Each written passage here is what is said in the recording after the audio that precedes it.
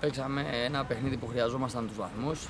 Δυστυχώς ατυχήσαμε με ένα δικό μας λάθος να μείνουμε πίσω στο σκορ. Στο δεύτερο ημίχρονο δείξαμε διάθεση, κάναμε τις φάσεις σοφαρίσαμε.